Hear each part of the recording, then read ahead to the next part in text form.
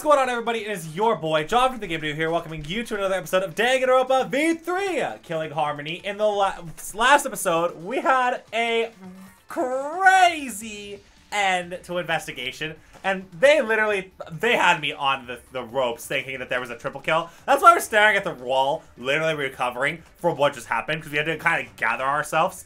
Um, but yeah.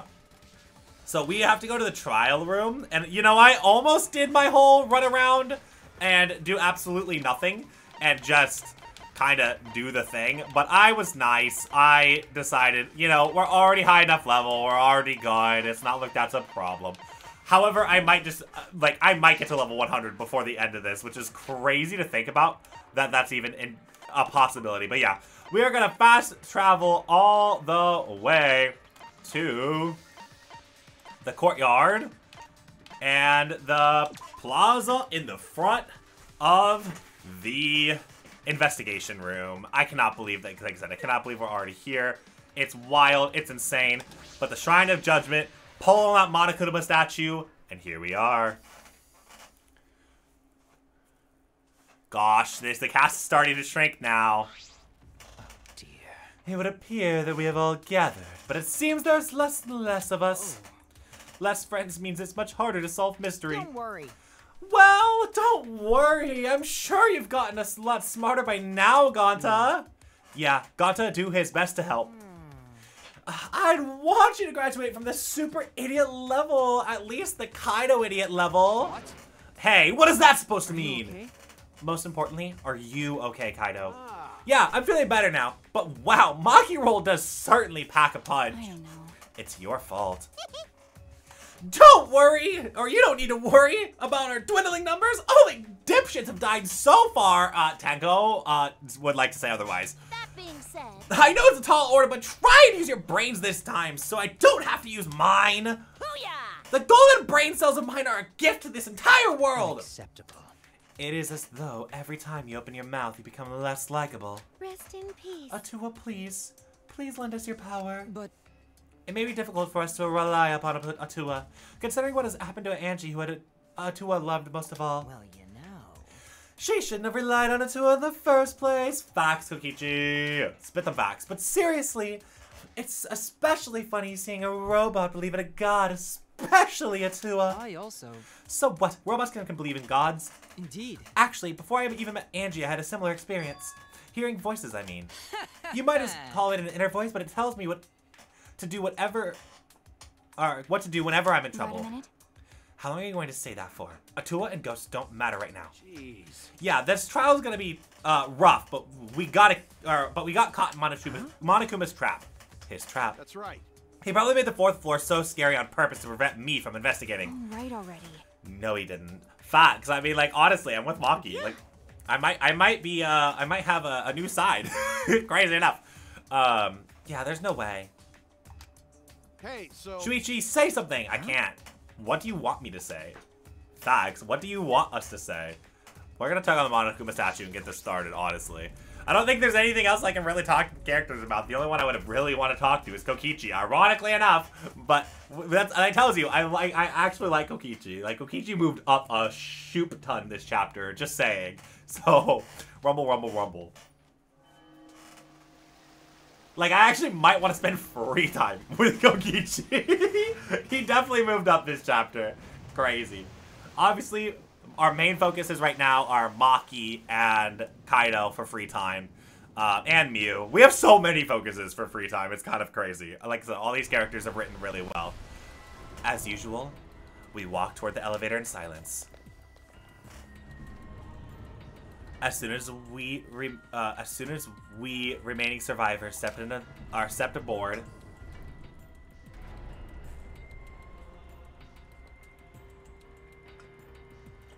the elevator went down. We descended. It's crazy. Like, there's still quite a bit of us, right? And that's the cool thing. But in a chapter or two, when we get to like the final seven, final eight, it's gonna cr- be crazy. Perhaps because there was few of us, the elevator seemed to move faster. So we fell faster and faster downward into the black. The elevator stopped, and just like always, the door parted slowly. The light that shines on us from the other side, the bright light of our future. Or is it? Uh-oh. Boy, they look so depressed. Uh, must because there's less participants now. Don't say they look depressed. You'll make Monodam sad. as much as I would love to keep hearing about this adorable back and forth. Oh, come on, me. Hit buttons correctly. Now. Let's hurry up and get this started! At last, the class trial will begin. I hope you enjoyed it to your heart's content. Oh, we will, Monokuma. The third class trial was about to begin. Angie Yonaga, the ultimate artist, she created the Ultimate Academy Student Council just to prevent this killing game. And then Tenko Chabashira, the Ultimate Aikido Master. She hated men, but I knew that she hated this terrible killing game even more. The two were killed, both trying to stop the killing. Wow, that row is almost gone! Crazy. Okay. Was it one person? Oh, did I... Was it one person, chat? We'll find out. Ah, or was it two different people? I don't think they're keeping this row entirely intact. I honestly, one of one of these four, I I, I believe Maki's safe. I one of these four are going. I'm hoping that's not the case, but one of these four are absolutely going. We we can't have an entire row not intact. My prediction was Kiyo to start, and it definitely could be, but with him being in the seance room and it being underground, it could definitely be Kibo as well. So those are the two that I'm gonna keep focus on is Kibo and uh, Kiyo, but we'll see. We need to pin down or pin that down in the class trial. In order to live, we have to find the truth.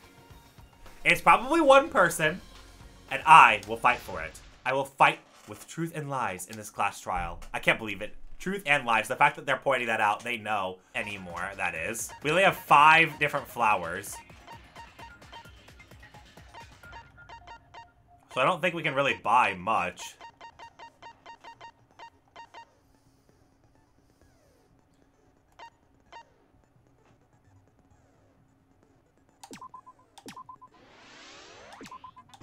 We'll add that to our skill list. Begin the trial. Yep.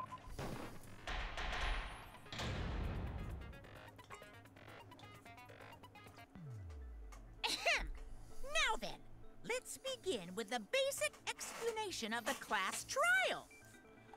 During the trial, you'll present your arguments for who the culprit is and vote for who done it. I'm like I'm like periodically looking at seeing how loud the game audio is. I think it's fine. Vote correctly, and only the blackened will be punished. But if you pick the wrong person, I'll punish everyone besides the blackened, and that person will graduate from this academy. Also, refusing to vote will result in your death, so you better vote for someone. Now, smiles, everyone! It's showtime!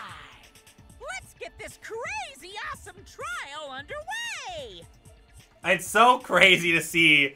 I didn't notice it, I don't think. Um, with Mono Monica Monokid, but Monosuke, the fact that they have their exes too. Sorry, everyone. I don't think I'm gonna be much help this time. You know what? I'm okay with you openly admitting it. Because of Monokuma's disruptions, I couldn't do a thorough investigation. I can tell Monokuma is overcompensating to hide his self-consciousness. Next time, spend less time fixing your hair and more time investigating, spaceman! Shut up! I don't need to hear some comedy act from you two weirdos. dot dot dot. Oh, Himiko! Are you gonna speak up first? Who did it? Oh!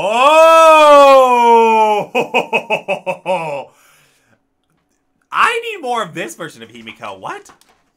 Who killed Angie and Tenko? Do not let your emotions hasten your judgment. There may be two killers. I I agree, but also disagree because Danganronpa logic. But I get where they're going. So, our other culprit might not be one of us here.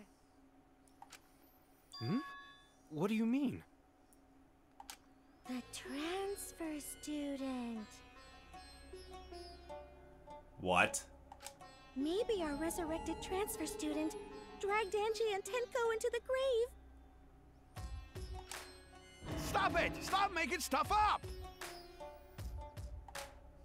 Say something, Shuichi. It'll be a mess if this keeps going on. True. is it even possible for the revived corpse to be the culprit? It is not because the Necronomicon was not burned. Well, uh, I should, in the interest of being thorough, I should clear things up right here. Is it going to be argument? Yes, it is. Necronomicon, if we have it. Because it did not get burned. Yes, it is. Cool. This crime was committed by the recently deceased. They came back to life and killed two of our classmates. Okay, that's, I, I wanted to make sure I knew the button because I haven't played this in a minute. Ritual did work? No, it didn't. It didn't. It didn't. That's wrong. V counter immediately. Let's go. Okay, we're here. Okay. I don't think Angie's ritual succeeded. It did not. We know that. According to the Necronomicon Monokuma showed us, you have to burn the Necronomicon in the ritual.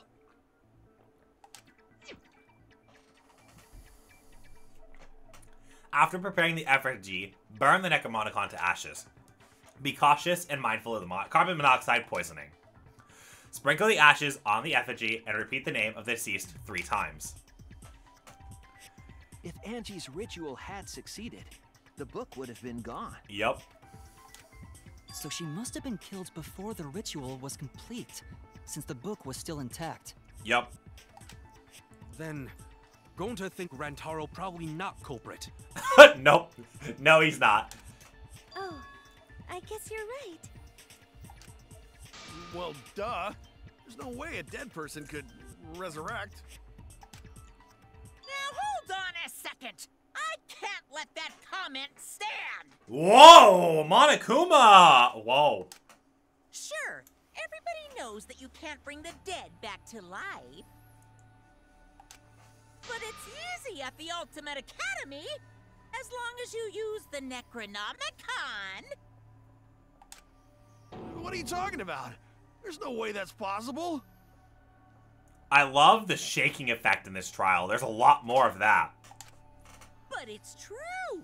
I never lie about motives. That's fair. Daddy said so, so he can't be wrong. Raising the dead is totally possible. Man, I can't believe you guys wasted such a perfectly good motive. You should have let me use it to bring Monodam back to life. Monodam is still. What? Monodam is still alive, though. Thank you, Monophanie. I'm just kidding. I wouldn't waste a resurrection on Monodam's corpse. He's alive. Oh? So resurrecting the dead was actually possible this whole time? Th- There's no way it's possible. There's no way that could happen, idiots. Monokuma is trying to confuse us. Wait! Angie! Angie's death portrait! it's got the little angel! That's amazing. That's actually amazing. Oh my god, I'm here for that. Let's hurry up and find out who the Blackened is. If our transfer student isn't the culprit, then blame falls to one of us. Who? Who did it? Step aside, Half Pint. I'll handle this. I don't know about Tenko, but I'm pretty fucking sure Kiyo murdered Angie. Wow, Miu. You're gonna just throw Kiyo to the wolves like that. I mean, I again, I know Kiyo is on my suspicion list, but I'm surprised you're throwing him in the under the bus that quickly. What? Why? Don't play dumb with me, creep show. I already know what happened. But the I, I'm assuming you're gonna point to the murder weapon, but there's no way to completely secure that thought process.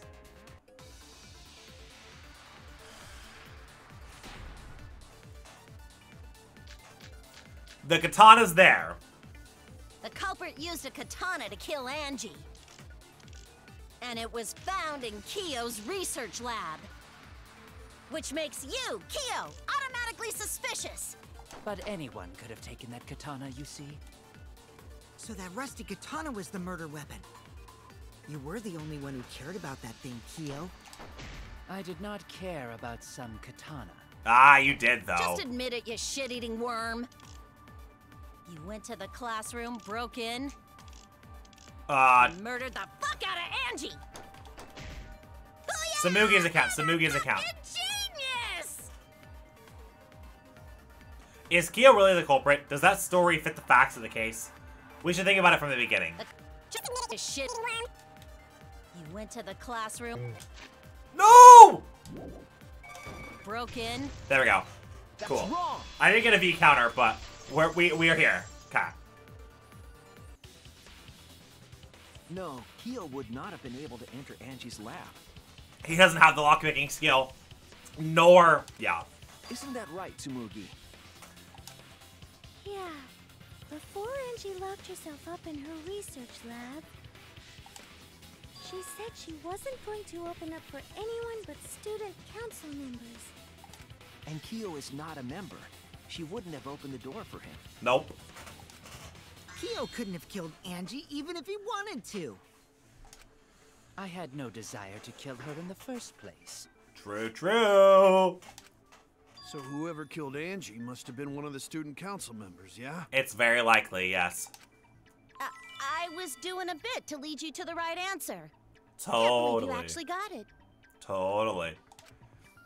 Oh, how clever. I love when the characters are like, I was just, you know, pretending this whole time. It's like, no, you you literally viscerally reacted. You were not pretending, but good good good try, guys. You can just ignore her, Gonta. Yep. I'm with you, Tsumugi. The remaining student council members are Gonta, Kibo, Tsumugi, and Himiko.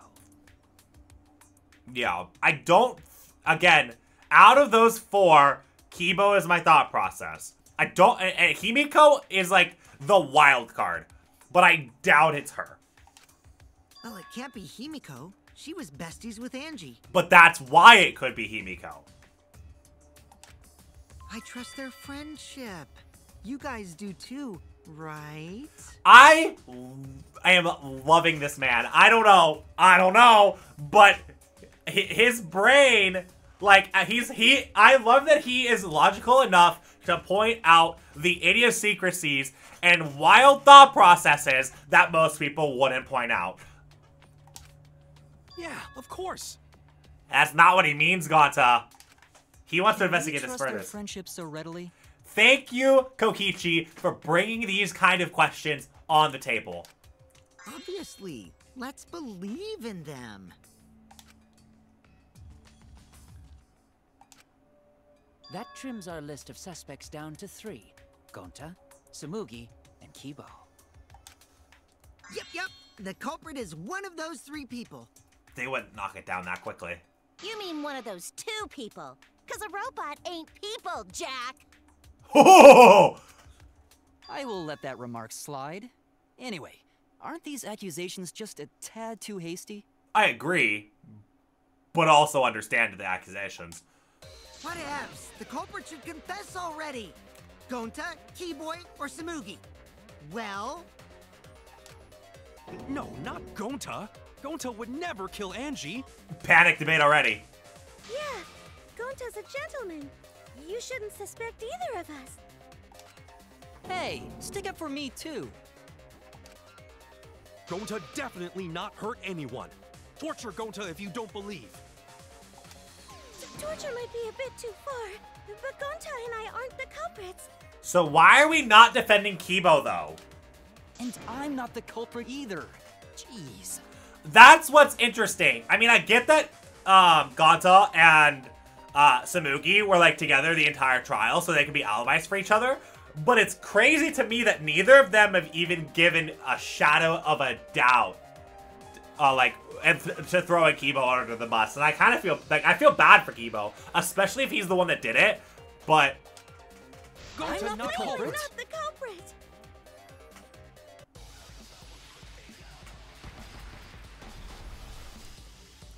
we have a lot of options: front door, back door, lockpicking. Necronomicon's already been used. You since must we- consider other possibilities.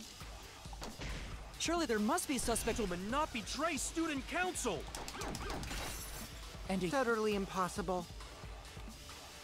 A dead chick can't be the culprit. Or only student council members had access. out late. Student didn't council. know robots told such boring lies. Is that a robophobic remark? Wow, there's so much. I actually, I actually think that my skill is hurting me. The, the the skill that I put on because that's crazy. I put on this skill to like not distract myself, but in a weird freaking way, a weird twisted way, being able to hear everything go on allows you to pinpoint it a little bit better. That I might need to unequip that skill. Wow. uh, okay. You must consider other possibilities. Gentlemen, not betray student council. And do you have an alibi? Not just anyone could open Culprit. Why? It's not that far-fetched. Only student members can open the student Ask council. bug friends of told such Gonta. I can't. Robophobic remark.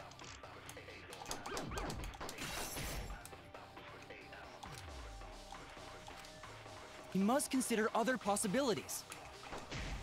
Surely there must be a suspect. Gentlemen, not betray student council. That's utterly impossible. Not just anyone could open that door.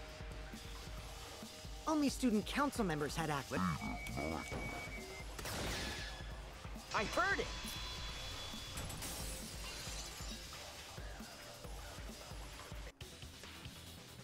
No, it wasn't just student council members that could have opened that lab door. Yup. Hmm. What was it you said earlier about Kiyo opening the door, Shuichi?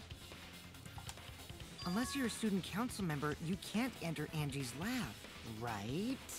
Except for one other person. I was referring to Kiyo. He couldn't have done it, but you could have. Because I saw you open the classroom lock by picking it.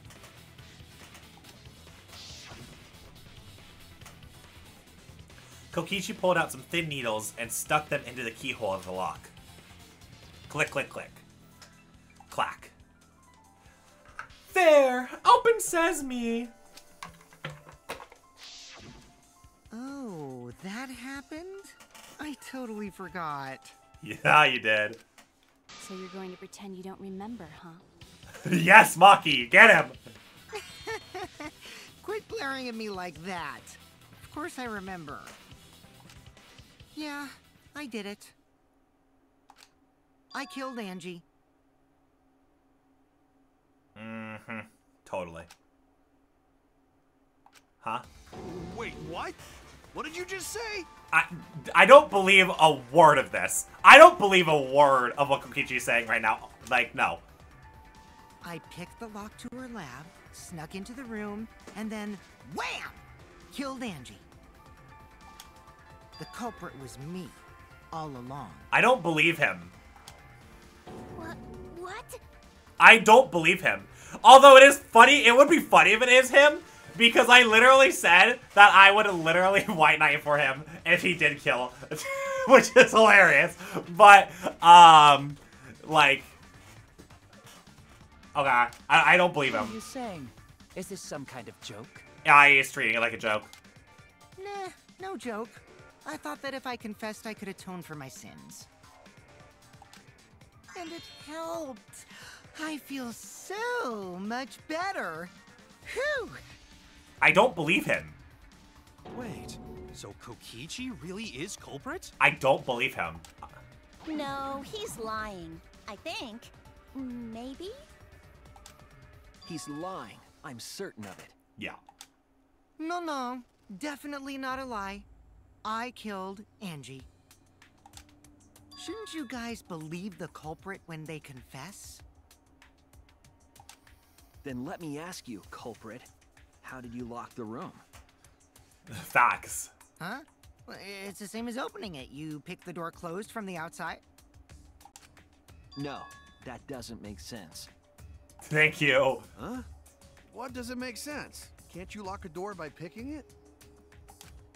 Maybe, but that's not how the culprit locked the room.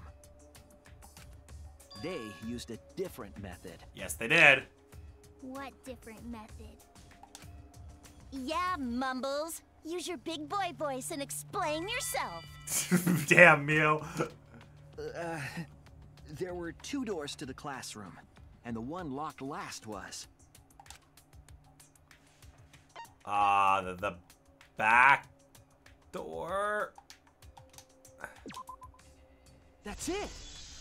I said that so confidently. back door. That's how they made this a locked room mystery. The back door had a sliding lock, yes? How was it locked from the outside? The culprit used a certain tool. The tool that the culprit used to lock the sliding door from the outside was... Mind mine! Oh god, okay. I was not expecting having this now. Uh, bop, bop, bop.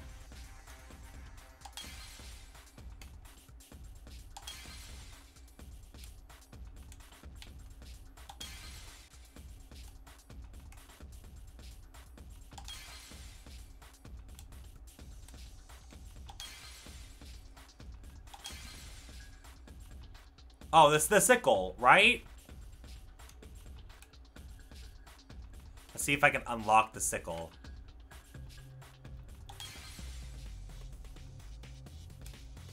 Uh, I need I can't turn both of those yellow. I've already fucked that up. Okay.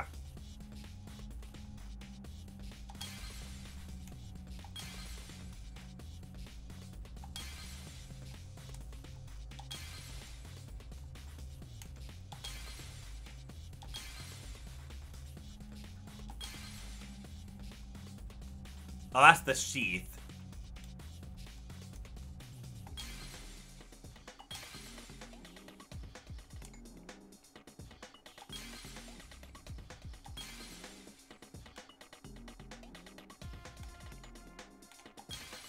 Is there more?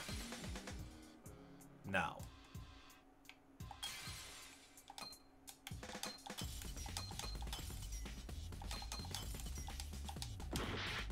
No.